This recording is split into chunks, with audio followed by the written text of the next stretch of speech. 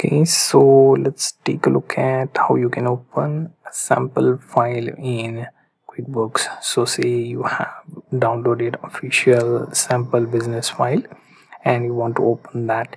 To do that what you can do go for file then go for open or restore a company and then click on it. Here you can find open a company file click next and here you will have to browse through the directory where you have saved that file. So here as you can see I have downloaded list of companies from 2014 database.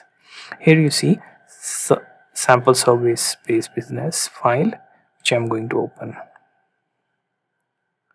Right? And once open it would show you here.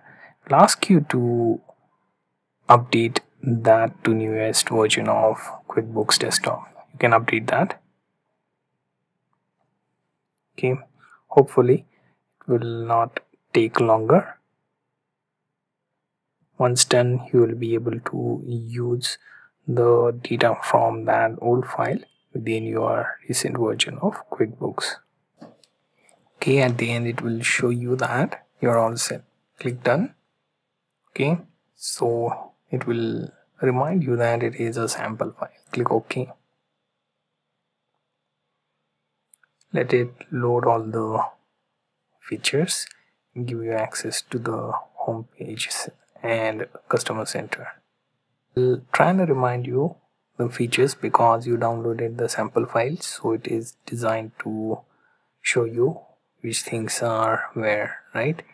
So just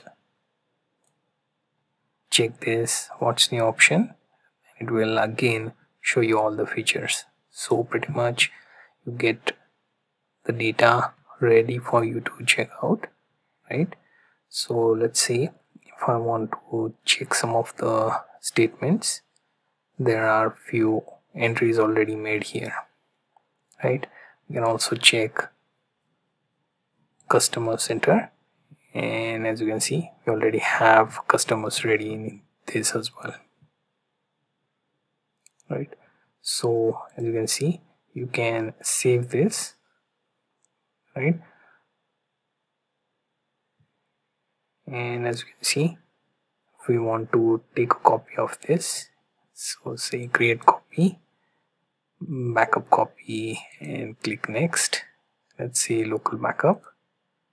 And if I choose the directory within documents quickbooks and click ok right and use this location.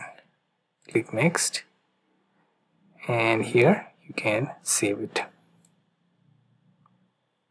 It will take some time but it will save your data and return back with success message. So this comes in handy whenever you are opening any other file company file within your existing quickbooks. So this was just a demo for you to check out as this is sample file right?